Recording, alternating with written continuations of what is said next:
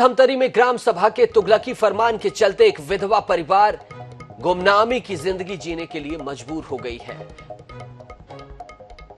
मगरलोड इलाके के डाभा गाँव में एक विधवा महिला के परिवार को महज इस बात पर सजा मिली कि उसने गाँव की अपने ही ज़मीन पर घर बना लिया, जिसके चलते गाँव के दबंगों ने विधवा परिवार का हुक्का पानी बंद कर दिया।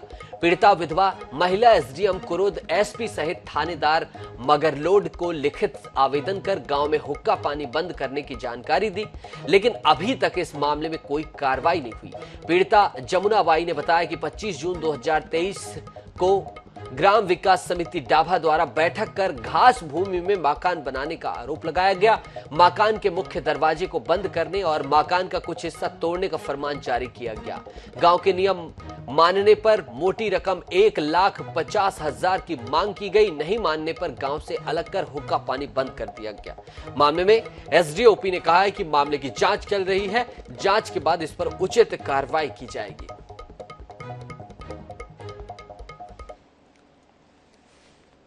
हमने गेट रहे मतलब पूरा टोयल कहा सीढ़ी मल्ला। और सेफ्टी के तेल बना देव कहा थे। और एक एक लाख इक्यावन हज़ार पैसा मांगत थे। और बार बार आग धमकी दे जथे घर ले निकलो। खाली करो कहीं बार बार आग धमकी दे थे। नहीं ऐसे मेरे कोई जानकारी में नहीं है। बहिष्कार तो ऐसे नहीं किया है।